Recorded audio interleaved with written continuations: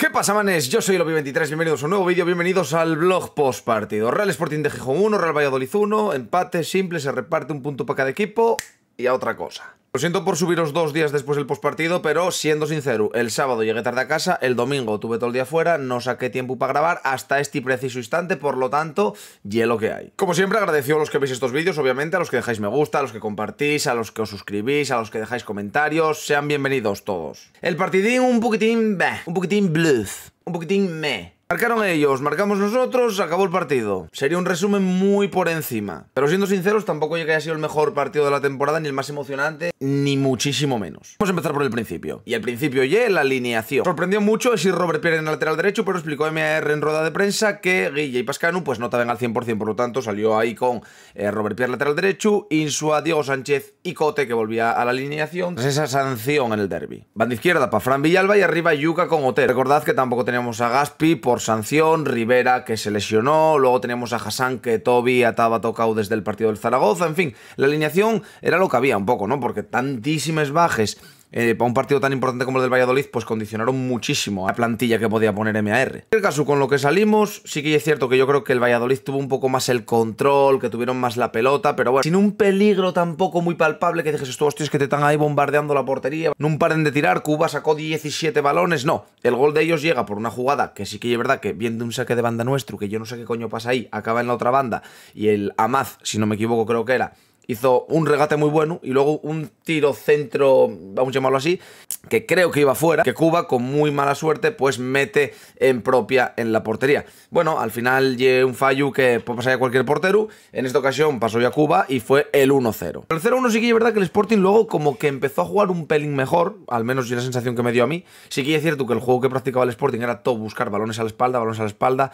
Hubo una ocasión muy clara de Yuca que estaban fuera juego, luego hubo otra de Otero que en vez de tirar quiso pasarla y pasóla mal y fallamos el gol. Luego hubo otra que tenía para dar tres pases y tiró y tiró fuera. Luego hubo otra que esta iba a matarlo, esta iba a matarlo, esta iba a matarlo, la que regatea al portero. Tiene para tirar a portería vacía, tírase. Luego llega Yuca, tira Yuca forzado, sácalo en defensa, creo que ye. Pero vamos, lo de Otero, regateando al portero, quedando solo y tirándose. Yo en directo dije, no hay penalti. No hay penalti. Los mis colegas, penalti, penalti, penalti. Dije, mira, como no sea penalti, yepa matalu, porque yepa matalu. Yepa matalu porque tire este, sabiendo que tal bar, sabiendo que es el Sporting, que no te van a regalar nada, y tire este. Increíble, pero bueno, en fin. Decidió mal todo Otero este partido, todo lo decidió mal.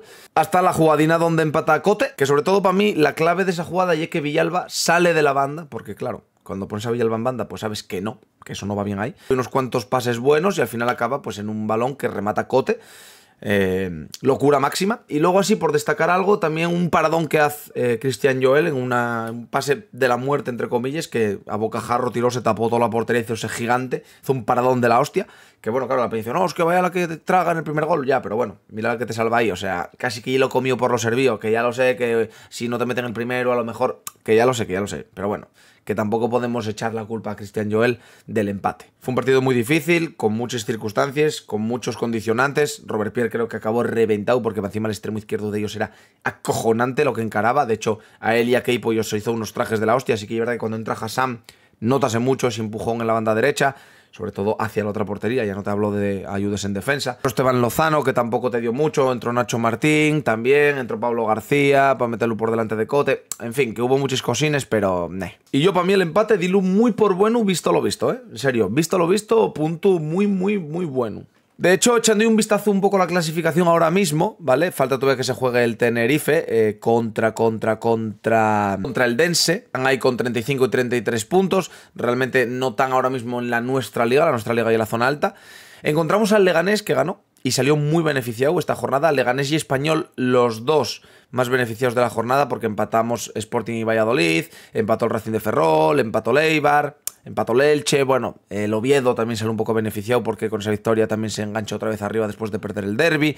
El Racing, que tenía una opción muy buena para ponerse con 42 y enchufarse ahí, pues perdió. O sea, hay un poquitín, un poquitín el jaleo de la zona alta.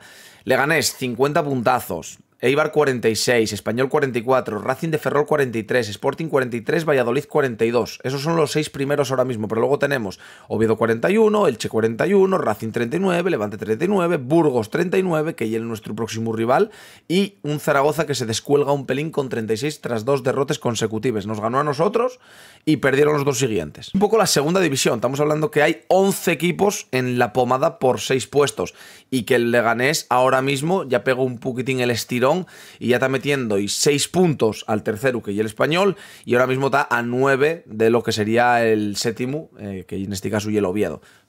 El Leganés está cogiendo muy buen colchón. Claro, pero todavía queda mucho, todavía queda muchísimo. Queden 15 partidos. Y cuando dices tú, ¿cómo que 15 partidos? Sí, sí, queden 15 partidos, majo, no queden más. 45 puntos en juego. Ahora ya cada partido y una final. A ver, Opi, queden 15 partidos, hombre, como que cada partido y una final. Eh, cada partido y una final, ¿eh?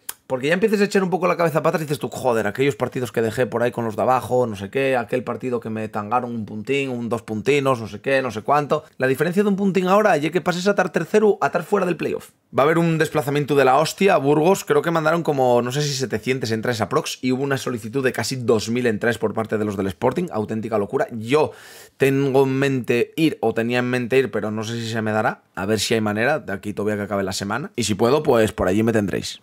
Los que me estáis diciendo que siempre yo lo del árbitro esta semana, creo que no pasó nada raro. Realmente no vi un árbitro protagonista ni determinante, porque lo que hubo un poco salseante fue el penalti de Otero y fue un piscinazo de la hostia, o sea que no hay nada que hablar. Hubiese sido bastante injusto, bastante mierda, que oye, ojalá nos pase alguna vez que nos favorezca el árbitro, pero sería muy injusto, ya no te hablo por Valladolid, sino que hablo por todas las decisiones arbitrales negativas y que nos jodieron a lo largo de esta temporada. Sería coña que te piten esa basura y no te piten el penalti de cote contra el Leganés, por ejemplo. Pero sin más, que aquí el árbitro ni pinchó ni cortó. Y yo poco más que añadiros, gente. La verdad que este partidín poca salsa más os puedo sacar. Además que ya pasaron un par de días y seguramente ya os la sude completamente, o sea que este vídeo no tendrá ni 3.000 visualizaciones ni 150 me gustas. Y si llegaste por lo que sea hasta aquí, di tú, bueno, pues un post partido de lunes, oye, y empezar bien la semana, ¿no? o lo que quiera, ¿sabes? En fin, compañeros, no olvidéis seguirme en Instagram, en Twitter, voy a subiros alguna cosina, hay algún reels de estos de balón sigan para alegrar un poco lo que viene siendo el inicio de semana y venga, que disfrutéis, que lo paséis bien. Push Sporting y este fin de semana partidazo contra el Burgos, ¿eh? Invictos en casa. A ver qué pasa ahora. Un abrazo guajinos, Push Sporting siempre. Chao.